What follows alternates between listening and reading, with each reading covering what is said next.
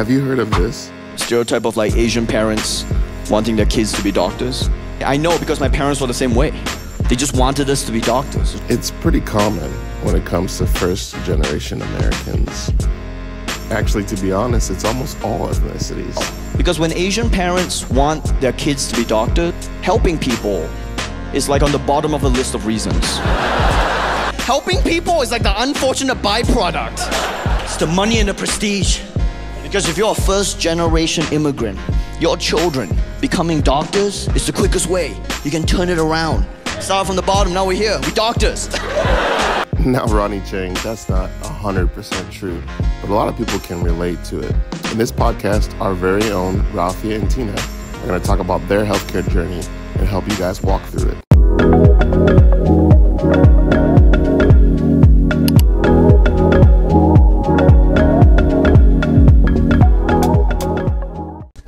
What's up, Charlin family? This is Charles, uh, administrator. Hope you guys are doing good. I have Rafia, one of our ambassadors Hello. here, and then also Teena, one of our ambassadors. Hello. Um, thank you for ha- hopping on and hanging out. Of course. we were literally just talking about, I think last week, Mm-hmm. about uh, just your experience just with healthcare Mm-hmm. and being in healthcare and coming into figuring out why you want to do healthcare. And so we were like, why don't we just do a podcast? Why don't we just talk about like your roadmaps uh, as a Mm-hmm. student and like what got you into healthcare and where you are now? I think there's a lot of people that are, as we have an aging population, there are a lot of people who need help and they're thinking about going into healthcare, but they may not want to pursue actual medicine, right? And become a nurse or become a doctor. And so we were like, well, why don't you just talk about it? So um, thanks for hopping on. Appreciate of you guys hanging out. Uh, so Rafi, just tell us about yourself in general and just what made you go into healthcare and come here at Charlin. Of course. Mm-hmm. So I went to Texas A&M University. Yeah, you Go- got to you got to give good. Yeah, there you go. Can Y'all painted on the ring. yeah, we got the Okay. So going into college, I s- didn't kind of know what I wanted to do. I started out in engineering. And I realized quickly that engineering was not for me. Wow. yeah, I was in engineering freshman year, completed that. It was hard but doable. Hmm. Sophomore year, I was like, what is going on? I was like, it just wasn't making sense to me. The classes were just getting harder and harder. I'm like, is this what I want to do? Hmm. And if I wanted to change, this was the time to do it, sophomore year. Hmm. And then I had a conversation with my parents about it. Um, my dad, my mom's a stay at home mom, and my dad's a surgeon, an orthopedic surgeon. And I was just surrounded by people in my family that were in healthcare. Hmm. So I just would ask my family questions. I'm like, okay, I don't want to be face to face, Yeah. But maybe I can do something in the background. Or maybe if I just wanted to see, okay, maybe I do want to do face to face. Just still undecided. Um, and then I spoke to my, I think my advisor. And she's like, yeah, we can move you over to the pre med or the community health route, which is where I can get an internship my last semester, um, and just see take health classes. I was like, okay, let's just do that. Best decision. Wow. I took I took like pre med classes, so biology, Yep, yep. chemistry, all those. Got Anatomy, through those. yeah. Yeah, got through those. And then also, which was weird, COVID hit too during that. Hmm. So I still was like, okay, we got through those classes. Is this still what I want to do? Then um, I worked at my aunt's um, clinic, Hmm. and I was like, "This is fun." I did the back end stuff, more of like the management side, scheduling, uh, helping out with just pill management, Yeah, yeah, seeing all yeah. that medical assistant stuff.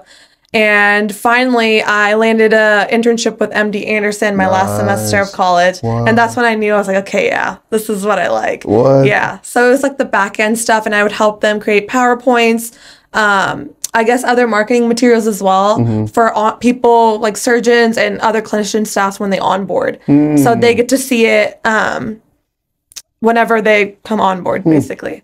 So yeah, and then after doing that, um, they did extend an offer, but I was like, I don't want to stay in Houston. Houston's just not for me.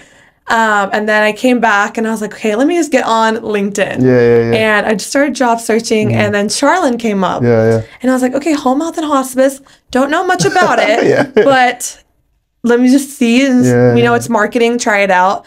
Um, I interviewed and applied and interviewed and I got it and now I'm here and I love it. So eh, I've learned so much. Yeah, that's cool. So that was kind of my way That's pretty navigating amazing. through. Yeah. like what did you feel like, you know, through that through that process was it what were some key things that help you like feel like it was the right thing for you to do? Was there anything, anything you could think about? Um, I guess the feeling I feel like really accomplished at the end of the day. Hmm. Whether I would see the patient or if I was just doing back end stuff, I just enjoyed it. I wasn't like, oh, I don't want to like. Right. If I like, do I want to do it again tomorrow? And I did want to do it mm. again tomorrow. And I just love learning about medicine and Yeah. just helping people. That's cool. So yeah. Wow, and that feeling wasn't there when you were doing engineering. You were like, oh, no, Not at no way. all. I would dread going to class. Yeah. I remember I'd call like my sister and be like, "What am I like doing?" She was like, "If you don't want to do it, you can always switch." Yeah. And then just having the conversation with my parents and thinking about it, uh, and then it kind of geared me towards health, That's cool. healthcare. That's cool. Yeah. Awesome. Thanks for sharing. That's Of course. awesome. Yeah. Teena, what you got? What you, tell us about your right. roadmap journey. So I went to the University of Texas at Dallas. Cool. Oh, you're not going to do the UTD. the comments? Uh, yeah, yeah, yeah. What is Yeah, it? What, what is it? it? what is it? Comments. Comments. All right. That was yeah. my first time doing it. Sweet. Nice. but yeah, so I started off in pre-health, and I was doing on the nursing track. Cool. So yeah, um, that was during COVID. So that was the first year of COVID. Was my freshman year. Wow. Yeah. so, um, yeah, I was doing that, and I took chemistry, Gen Chem, and I was like, mm, I don't think I want to do this. and COVID was just a time where I was like really reflecting a lot, and I was like, can I really like be like in front of a patient and like. I'm not good with fluids. I'm not good with all that kind of stuff. So I was like, mm-hmm. I don't think this is for me, but I really love healthcare still. And that was like one thing I really enjoyed and knew that I wanted to do was just helping people. Mm. And so for me growing up, I always thought helping people, you had to just be in front of the patient at all mm. times. But I never realized like there was a whole back end to helping people. Right. People behind the patient or people behind the nurses, people behind mm. the doctors, and that they have like a whole industry within itself. Yeah. So yeah, that was a big turning point for me. Um, my mom was a nurse, so I was like, oh, let me follow in her footsteps. Yeah. But luckily, my dad's in business, so I had like both ends and being like, you should pull me this way, pull me this way. Nice. My parents actually were like, don't go into healthcare because like they knew how hard it was. My sister does healthcare; she's a doctor. Oh. My brother is an engineer, so I was like the wild child. I Yeah, was like wild card, and um, so yeah, I chose to do business, and my dad's really happy that I chose to do that. Nice. And then my mom's also still happy because I'm still like in the healthcare part of it. nice. But yeah, so after first year, I switched out into, I found out there was healthcare management. Mm-hmm. And because I was talking to my advisor, and I was like, I still want to be in healthcare, but I don't want to be like in front of a patient doing all that kind of stuff. And so she's like, Oh, there's like healthcare management, healthcare administration, all this stuff. And so the school that I go to, JSOM, mm-hmm, mm-hmm. they have Shout out to JSOM. yeah, shout out to JSOM. they have a ton of opportunities. Like you could do anything in healthcare. You could do like comp sci in healthcare, engineering in healthcare, art and healthcare. Wow. Yeah. So there's a ton of different stuff you can do Art in healthcare. with a combination and with JSOM. So it has like the business part of it. Hmm. But yeah, that was very helpful. And then I started taking classes that more were aimed towards healthcare, like healthcare regulation Nice. learning about all that was super cool. Ethics in healthcare. Hmm. That was way more interesting than just like biology and all that to me, at least. Yeah, I couldn't do it. yeah, Gen Chem. Gen Chem. I feel like it's there to weed. yeah, I feel like they put it there it just to weed out people. Yeah, like, yeah, for "Mm, sure. you really want to do this? Yeah. but yeah, so all those classes that I took my last couple two years were really good. And then when I went to study abroad, I was still kind of hesitant on like, do I want to just do like healthcare administration, like um, in an office, or do I want to do like marketing or business development, all that kind of stuff. And so when I studied abroad, I got to take a business development class and a marketing class Oh wow. and I didn't take marketing here. And I think taking it abroad was very different than taking it here because just the way they teach abroad was very different. How was that? Was it pretty neat? Yeah, like here is just like oh vocab stuff like that, but there you're like given a project, and so we had to market for a play that came out in like the 1900s. It was cool to just apply like modern techniques to that and hmm. still make it um, marketable for Gen Z. Wow. But yeah, it was like really cool to see that. And so yeah, then for JSOM we need an internship to graduate. Oh, oh yeah. And at the time, I was like, "Why is this a rule? Like, this is so stupid." Yeah, For A and M too. I was like, Oh, really? So stupid. Like they're gonna make you not graduate. If, No, no offense to anyone from JSOM. No shout out made that to rule. Yeah. no shout out to JSOM on that one. But yeah, so I was like, okay, let me look for an internship. It's my senior year. And I was on LinkedIn. Yep. And it was actually like one of the only things I applied to on LinkedIn because I didn't even know LinkedIn, like you could apply on LinkedIn.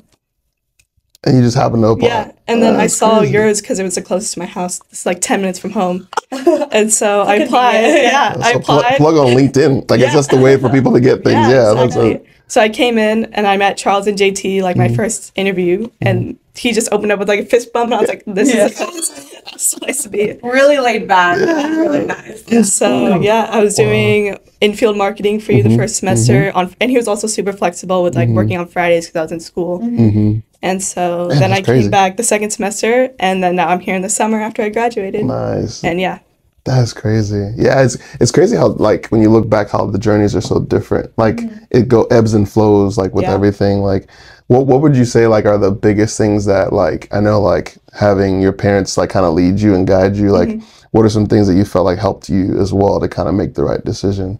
yeah. So my mom, for honestly, it was just seeing the kind of day she works, like the nights, and hmm. like even like it was for her it wasn't like nine to five, even though like when you think of a nurse, you're like, oh, they go home like after they're done, but she was Yeah. still like doing charting and all Yeah. that. Yeah. So I was like, mm, I'm not a big fan of working after, staying up and all that. But and then my dad, he was like, um, obviously on the business side, and he had a bunch of career changes. So he was originally a doctor, going to be a doctor in India, Wow. and then he came here and did IT for IBM, and then he switched to real estate. And so he was always like, "It's okay to change your mind. Like you have so much time." Wow. He didn't start real estate until he was like forty. Wow. So like he was still changing his mind up until like ten years ago, and he's still doing other stuff now. So like Yeah. having that like reassurance to be like it's okay to like change your mind, Yeah. figure out what you want, take your time before you stick to something. Mm. That helped a lot. That's cool. That's cool. What about you? What would you say? Yeah, I feel like mine was a little different. I feel like my dad was more stricter. Yeah. He was more like, okay, you need to figure something out. And I was like, okay, like we'll figure it out. Um, his schedule was always really, really busy too. Yeah. So, but I know that like he was like, okay, yeah, like it is rewarding, but I will be busy and stuff. And my mom was a stay at home mom. Hmm. So I even being like stay at, stay at home moms out there, 10 out of 10. Like, t- get, you know, from when we were younger, getting us ready, get, getting us to go to school, like dropping us off. And my mom's English wasn't the best either. You know, while my dad was working, she would just do Mm. All that. So Stay at home Shout- moms. yeah. That's like a that's a major in and of itself. There's like Yeah. the masters and then there's being a stay at home mom. exactly, no, she did a lot. Um, but yeah, they were stricter too. And my mom was just she knew about my, like what my dad does. She Mm. was very unfamiliar with other like she knew bus- so business. So in our culture, it's always Okay, business- what's your culture? So Yeah, is it what so- your culture? Yeah. Yeah. Let's talk about that. Okay. Yeah, so I'm Pakistani. Cool. So first gen. Cool. Um, so basically, in our culture, usually it's whenever we graduate, they either want us to be like STEM. So basically, Okay, okay. business, doctor, lawyer, anything, yeah, engineer. yeah, yeah, yeah. Um, and they just want you to fall into that because it just is. They just it's Security. yeah security, and it's also like uh, brag too. Yeah, oh, my kid's doing this Yeah, my kids do. Yeah, yeah. yeah, but yeah going back off of the other tangent it was just um just making sure i get a job and it's a good job and mm. i'm enjoying it at the same time. Yeah, but also yeah, yeah. just not be- being at home and being lazy kind of going out there and searching mm. for a job so Yeah. Wow. it's stricter for sure Wow. Do you feel like do you do you like I mean just growing up in that culture, do you feel like some of your like fellow like peers like are also like go through that same like struggle or like, Yeah. how do they deal with like figuring out how- like some parents are more harsh or some parents are more flexible? What are you, what have you like experienced? Yeah. well? So in college, all of my roommates, my other three roommates, they're from Pakistan too. Cool. So they we related in a way together because their parents were similar to mine, and our parents were. Re- they also became friends too. Nice. Um, so we related to each other. We talked about it to each other. So, but they also understood like we all went through the same kind of path. Um, one, two were in healthcare, and one was in business. Mm-hmm. Oh, okay. So Okay, yeah, we all related. But um, and yeah, if we were just ever like going through anything, we always just bonded with each other. Oh, yeah, crack jokes. and Yeah, yeah. But and but also with my friends from high school, they weren't the same culture as me. Okay. Um, but their parents were more like patient, more lenient, Mm-hmm. and they could like, oh, take a year off and just, you know. But with mine, if I ever brought that idea Nope. up, they're like, what are you doing? Yeah, yeah. So, What's going on? yeah, what's going on? So that was kind of my thing with that. What about you? Like, Um, your, yeah, what's your culture? So what do you Yeah, so I'm Indian, but I'm uh, Catholic. So we have like the Sunday mass, so all the moms go and talk and brag about their kids after that. That's the main reason to go. But a lot of my friends are doing medicine. I think actually all of my friends are doing medicine. Oh, wow. Yeah, like the straight med school path or PA. And so uh, even at our family parties, like now that we see each other like every couple months, they're all like, "Do I really want to be a doctor?" And I'm like, "Oh, you're like eight years into it." Like, Oh, yeah, wow, but they're all yeah, yeah, Yeah. exactly. And they're like, "Oh, but I can't tell my parents like I'm even questioning it." Ooh. Yeah, especially after like being in it for that long. So I know a lot of them are like very conflicted on if they like they really want to That's do it, tough. but they've already put in so much work and already like had so much pressure by their parents. Yeah. So I was like, oh, I'm glad I got out early. Wow, that's like didn't feel yeah yeah the pressure very real. Yeah. Wow. And it's hard because I think like you want to honor your parents, mm-hmm. right? Because you grew up especially in the- because they came here free. Yes, to, yeah. So you guys are first gen too, first generation, both Yeah, of you guys. First yeah. gen is just that you were the first ones born here, right? Yeah. It's Yeah. not the college. First thing, right? generation American, yeah, yeah, yeah, yeah. So I, will- yeah, I'll be me too. So yeah, Yeah, that's funny. That's crazy. Wow, Yeah.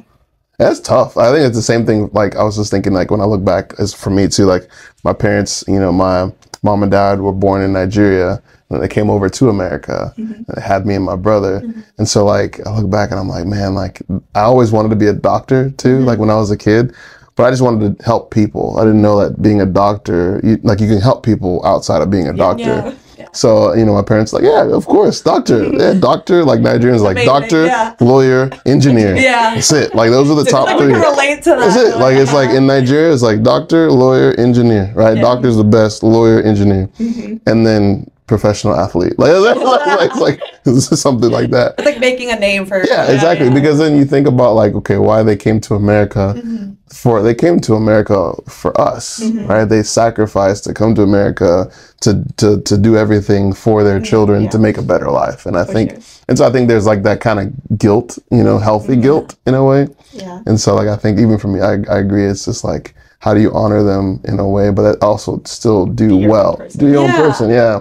Because you can still excel and and do well in that craft. And so man, that's that's crazy. That's really crazy. wow, wow. What are some things that you guys have like this this experience with making that choice? Do you feel like that choice that you made is good and why? Like to not kind of like go away from like what you felt was good or what you felt was being a doctor or being a nurse or what were, what were some things that made you make that decision? So are you saying just like how we like started out? Or yeah. Like, yeah. Um, I remember whenever I like was deciding to leave engineering, I was like, oh, like I was thinking about their reaction before mine. Yeah. And I, but then I was like talking to people like, no, like think about yourself first, and then you can tell them. But I, honestly, they weren't that upset. I was Hmm. actually genuinely kind of surprised. They just wanted to make sure I had a backup Plan. plan. Yeah. So it wasn't as scary as I thought, but having a backup plan and then ended up being the right choice. So I'm glad I didn't just pull through. Because how going piggyback off what you were saying with your friends about, I know a lot of people who are in med school or PA, uh-huh. you know, long years, and they're like, I don't want to do this, and they're already locked in, and you don't. I just don't know what. I'm just like, yeah, I don't know what to tell you. Yeah, I'm like, I don't know what to tell you, but. Uh, you know what I mean? It's just like a thing where it's like they're just trying to make their parents happy, but at what cost? Yeah, yeah, yeah. I think the biggest thing is like when you're doing, I think like, think about that. Like, it's if you're able to say no now, you're actually saying yes for a better future. right? Mm-hmm. Yeah. Like, so it's like you saying no is actually helping that whole process. Yeah, But, and like, it, they'll come around too. I think some people are just like, oh, or hopefully they come around, but at the end, it always works out, you Wow. know. And you can, you who know, you can ex- excel at whatever you do later on and make a name for yourself there. You know, everyone's just you know trying their best. So Well, what what advice would you give someone who's like, just like, uh, I don't, I'm deciding whether or not I should say no to this and tell my Mm-hmm. parents. Like, what advice would you give them, like, to actually process that through? Like, okay, now you have friends who are already in it, yeah, and it's it's almost kind of too. Not I want to say too late, Mm-hmm. but like, what if let's fast forward to those who are really considering like they're early. Actually switching Yeah, what would you advise them to say? Like, okay, like just to be like, it's okay. You know, Yeah. what would you say? Yeah, I would first just listen to them thoroughly because I feel like sometimes they just want to ra- like rant, and so after they rant, they're like, okay, like let's think about this like seriously. Um, I would just tell them do what makes you happy. Yeah. Because at the end of the at the end of the day, you're doing it for yourself, and you're going to be doing this. You know, job. You can always switch later on, but you're going to be going through this path yourself. So whatever you think is right for you, just do it. That's cool. That's Yeah. cool. What, what would you say as well? Um, I completely agree with that. I would say envision yourself in 20 years and doing the job that you think your parents want you to do and see how you feel how you would feel doing that for like the next 20 years. Wow. And so for me, I was envisioning being a nurse, and then after seeing my mom being a nurse, I was like, I think I could do this for one day. And but yeah, and then so when I was thinking about business, I was like, wow, I really like, especially the, with the classes I was taking. Yeah. like, this is more my speed. I really like the whole like relationship thing with building with other um, with your customers and all that. So I definitely think just envision yourself in that place, and then if your immediate reaction is just like, ugh, like the rest of my life, I I don't want to work for the rest of my Yeah. life, then that's a bad sign. That's good. That's but yeah, in a perfect world, everyone would love their jobs. Yeah. But it's not like that, It's not like that. yeah. Yeah. That's But it's good. scary to think like the people taking care of you hate their job. Yeah. Yeah. That's Yeah. scary. Or And some I- of them at least. especially especially in healthcare. Yeah. Yeah. I think because healthcare is like of all the industries, it's it's service based. It's Yeah. Mm-hmm. you. It's draining emotionally. It's already draining emotionally, but like have not having the heart for it is kind. It is kind of Yeah. scary. Yeah. You know, that's very Yeah. true. Like, cause like I think I, oh, that's a very good point. Definitely like affects patient care. it does. Yeah. Like, and so like it's not just about you know even like pleasing your parents. It's about okay, how do I best serve this patient? Mm-hmm. mm-hmm. If my heart's not in it, then I cannot best serve this patient Exactly. right? And that's what the industry needs is the mm-hmm. next generation who are fully passionate mm-hmm. about serving patients, taking care of them, going above and beyond, mm-hmm. kind of like the Call of Duty. Yeah. Yeah. You know, and I I think if I think that's one of the what we were kind of talking about last week is like just making sure that okay, if you really want to do this, you know, make sure that you you really want to do it Yeah. Yeah. because this next generation, as we're coming into a lot of healthcare needs in the next 20 years, right? From seniors to uh, baby boomers to everything, like mm-hmm.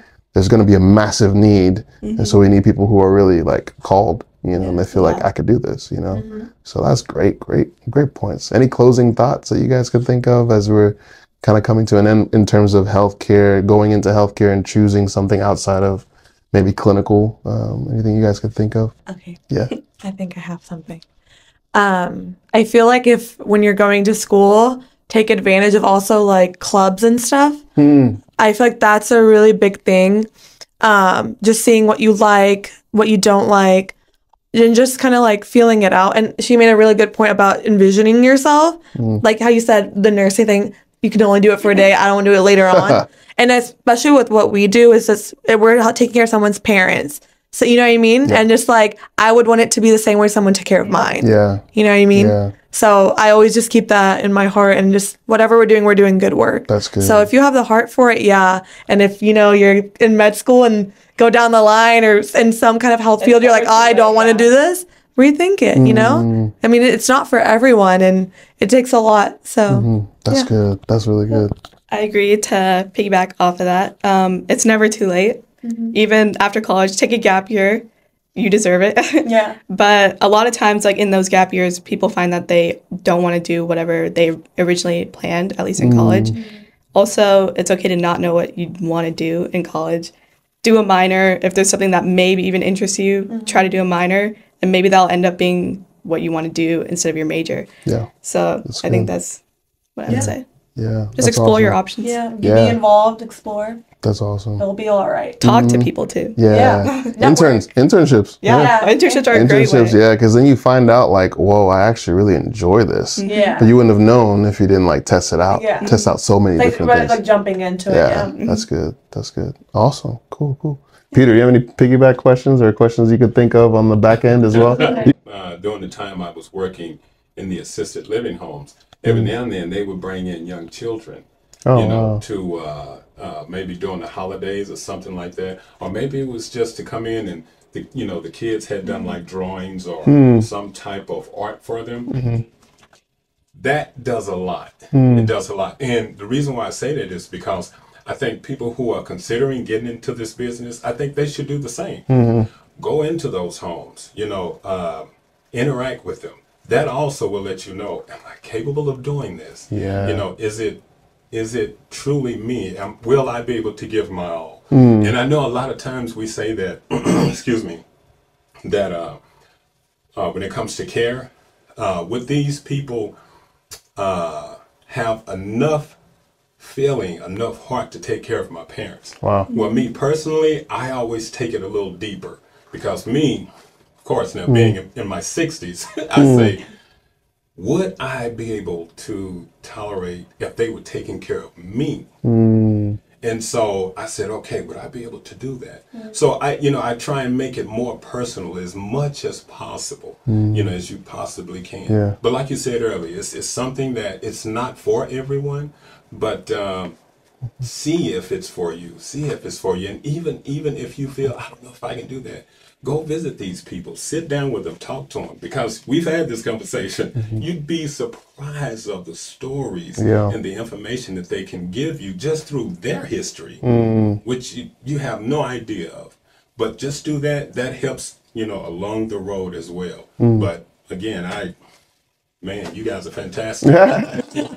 It's not for everyone. Yeah, it's It's not. good to see those who are putting their best foot forward. Yeah. You know, to uh, to go into that field and to do as well as they possibly can. Yeah. Everyone can't do it though. Yeah, that's true. That is very true. That's a good point because not everyone can do it, and I think mm-hmm. it's okay if people realize like, oh, I can't do it, mm-hmm. and they, they don't have to feel bad because not everyone was meant, you know, to, to cut hair. Not not everyone is meant Yeah. to, to to be a doctor, mm-hmm. but but some people that are meant to cut hair can cut hair very well, Yeah.